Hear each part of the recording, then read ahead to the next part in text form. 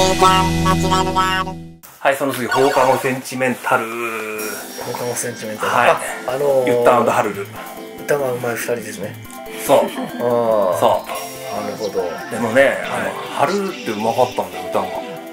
春だけですか？そう。多分俺しか会ってないんだハルル。はああ合ってないです。そう。合ってないですハルルっていう水戸の子であの歌いたいですっていう募集が来てで歌ってもらったら本当うまかっダーンと春、た、うん、でもその1回きりしか会ってない。んだよその後ほらユッタハルルでちょっとあのイベントとか出ようみたいなこう PV 作ってイベント出ようみたいなそういう話も出てたんだけどあのちょっと俺が寝かしちゃったのを やる気がなくて。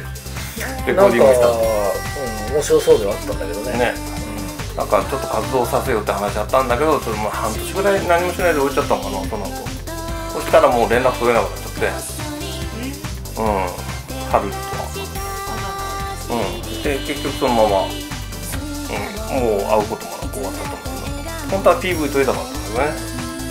撮れないでよか。ったこの曲はだから本当のプロに頼んうん、この曲はあの沼久内さんですね。あの AKB の曲作った人に作ってもらったで作詞もその人のあのお抱えの作詞家の人に書いてもらって、若干変えたんだけどね。うん、そうで出来上がってきたらちょっとちょっと一部変えたいなってね。2人で書いてなんかね相談してね。一部変えたんだけど。あとあれ感想にセリフを入れようってね、はいはいはいうん、でその辺をもう一回投げてあのそのちょっと希望通りにちょっと詩を書いてもらってね、うん、で完成させたんでね、あのセリフ良かったね。うん、あれ入れた方が良かったようん。ね。何もないとそう寂しいもんねあそこね。感想うん。まあうまくいった。あそこもね本当はねあのハルルのハルルも撮ったのねあれああセリフ？あそこのセリフ。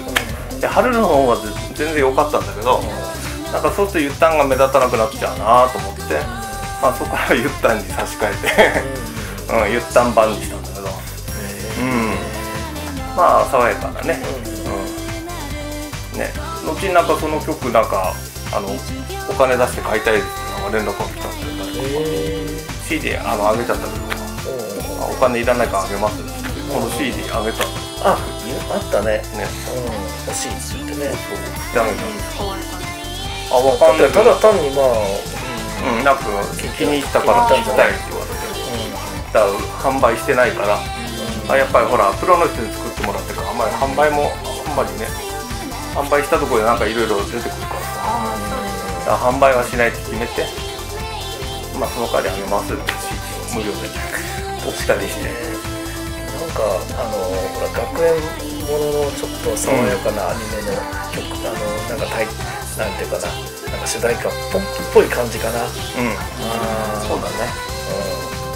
はい。でこの曲もあれあの勝手にあの沼久内さんが作ったアレンジ勝手に俺シンセ 何も言わずに。シンセとあとボコーダー。ああのイントロでこうロボットボイスが流れて SYNC ってこうロボットの声がねなんかそれを自分で俺がやるそれをあとシンセ途中でこうちょっと弾いて勝手にちょっと何も了解は取ってないんだけどまあ出しちゃったもん勝ちだ、ううん、勝手にやってたはいすいませんでしたその後お未来への扉未来への扉って言ってこれうちらのバンドの曲でうんあのちょっとね暗めのテクノロックあのなんかギターが後半すごくね、うん。激しいうん。ギターになるんですけど、そうそうそう、うん。あれねやってくれって俺お願いしたの。あのキュイーンっていう音をうん。あの入れてって言って、うんうんうんうん。あの「タテタタテ大きな歌き」ってこうなんだけどあれもうこれやってってお願いして入れてもらう。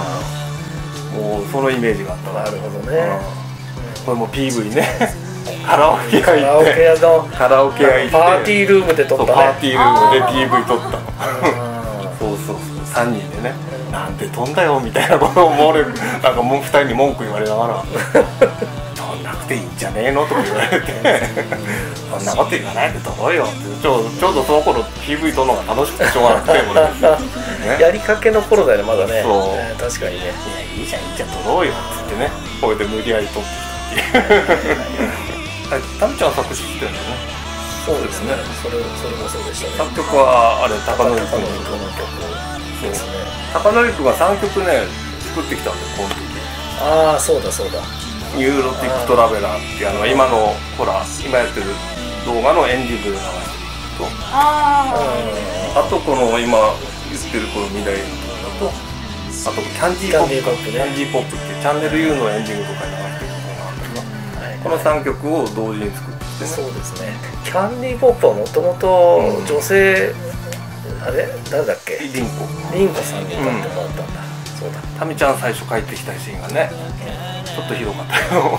覚えてる？覚えてない。うん、なんかサラリーマンの苦悩を書いた。あ なんかりりんこさんって女の子が歌うのになんかタメちゃんが帰ってきたしがなんかサラリーマンの苦悩を書いた。えちょっと見てみたいねうんなまだ記録あるよ。記録あんだけどさ。そうだっけそう。なんかいつも仕事に追われて、ね、今日もあのなんか帰るのが遅くなったとかあの結局最後に内側のバンドでもう一回その作ったんだけどそれはその最初のタミちゃんが作ったあのサラリーマン苦悩編をちょっともうちょっと戻して、ああそうなんだ。うん、そこにもうちょっと寄ってもう一回作るあサラリーマン苦悩だっけ、うんそうだよ。記憶ないな俺。それはこい。いやキャンディー入ってないから。ああまあね。ねみ未来ね。未来のね。未来の。この辺にはね詩には一工夫二工夫あったんですよ。実は。何？いろいろあったんですよ。名前を入れたんですよこの人も。あお子さん。そうそう。実は。こううちらの俺の子供の歌そうそうそう。未来への時そう俺も子供にこの前たちの歌だぞってそう言ってる。っていう風に作ったんですそう。イメージそういうイメージしたんですうちの子供双子で「あの明日と未来」ってな名前入ってるね。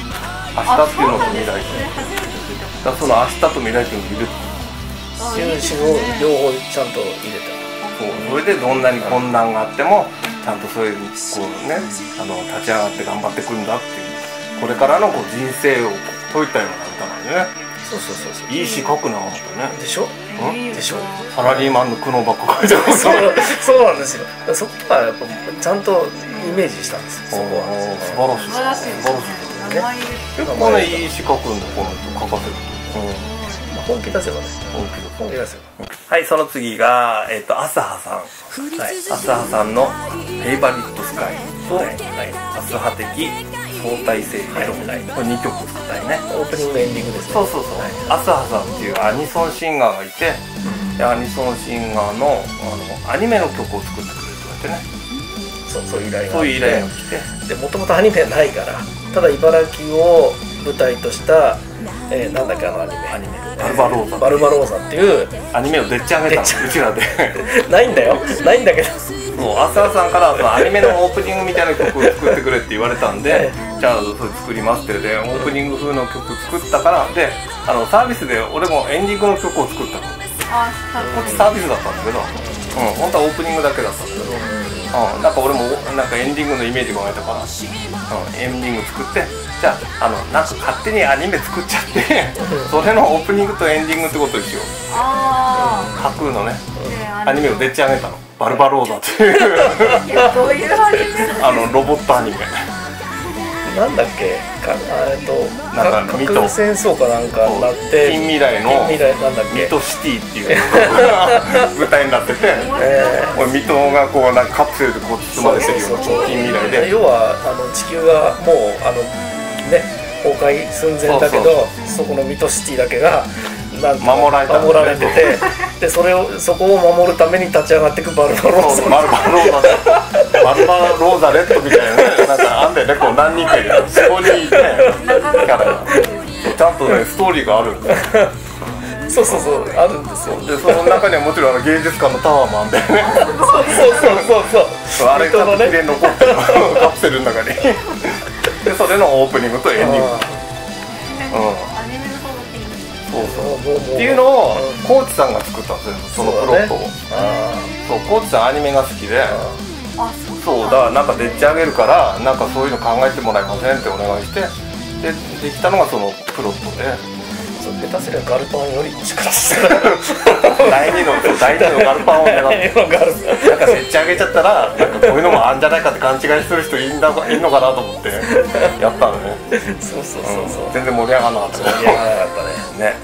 バルバローザ旋風は来なかったね残念ながらね。結構あれ難しい歌なんですね。難しい歌すごい難し。い展開がコロコロコロコロ変わる歌で、いやいい曲ですよ、今今聴いてもなんかかっこいいもんねねかっこいいよね勢い持ってねで詩書いたんだねタムちゃんねそう大半最初の大枠を作ってそうだねそこを途中ちょっと書いた途中ちょっと書いてくれてさらに一つの言葉言葉を浅羽さんがあそうだちょっとだちょっとちょっと変えてくる自分の今風にというかねメサイメサイアメサイそう救世主って書いたのそう。メサイアにメサイア直したあそれは出ねえな。出なかった？ね。あ救世主ダメか。とあと覚えてんだあれ。俺みんなで行こうよって書いたの。うん。共に行こうよって書いたの。ああなんかすっげえアニメっぽいなと思って。感心したのを覚えてるの。あのなんかライブでこうみんなでこう呼びかけるような曲がいいんじゃないのかなと思って「あの頑張れ」とかそういう言葉を俺入れた。んですよそうだね。そういうそういう励ましの言葉みんな呼びかけること。みんなで行こうよとかあと頑張ってって言うよとかなんかそういうのを俺が言った。最初シーン見た時に俺無理くりじゃねって思ったんだけど、歌ってもらったらもうぴったり。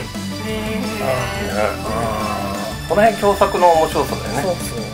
あとあれエンディング曲さ俺作ったのがさ「アスハ的相対性」あ個人的にあれすごい好きなの。随分すんなりできたんじゃない？あれ簡単にできちゃってもういあの曲ってイメージだからあのイメージがしっかり固まってれば結構簡単にできるんだよ。あのアニメのエンディングっていうイメージだけでこう考えるともうスランと結構できちゃったりするんだけど。エンディングっぽいよね、うん。あの曲ね、そう。なんかねいや個人的には結構すごい好きなの主題歌ではないそう。曲は本当に、うん、エンディングっていうか本当に感じの曲で基本的にテクノなんだけどちょっとねなんか途中こうフラメンコっぽいギターが出てくるような。ああそう。それ高則君がアレンジやってんだけどすごいよ彼も。なフラメンコみたいなギター弾いて入れてって本当にその通り入れてるから。いや彼も本当すごいね。俺ね天才だと思ったけど俺なんか足元にも及ばないなって本当思うわあれ高則君と会ってから自分で打ち込むのやめちゃったからね。うんもう勝てない。全部人に任せる分。あそうそう。だから俺も最初ギターやってたの。もうもう無理と思ってまた全部お願いこの高則君がギターうまいのよ。多分茨城で一番うまいと思ったえ今普通に仕事しててそれそうそうそうはそう。趣味ってこと？趣味で今ボカロ P やってるけどもともとギタリストでギタリストで自分で曲作る人で。いやー俺ね茨城であの人のギターよりうまいの見たことない見てみたいまるでもう自分でやってるのが恥ずかしくなっちゃって。もうもうあのお任せしちゃっであの人さ一番感心するのは昔からなんだけど余計なもん全く弾かないの大体さギター弾いてる人ってなんかレコーディング始める前にあのあれわがままジュリエットとか弾き始めたりさなんか自分の得意なのさこうぽつりぽつりこう弾き始めたりするんだよ。ね。なんかマリオネットのイントロとかさそういうのこう調子こでこう気持ちよく弾いたりするもんだけどギターギタリストってさ何にもやんない。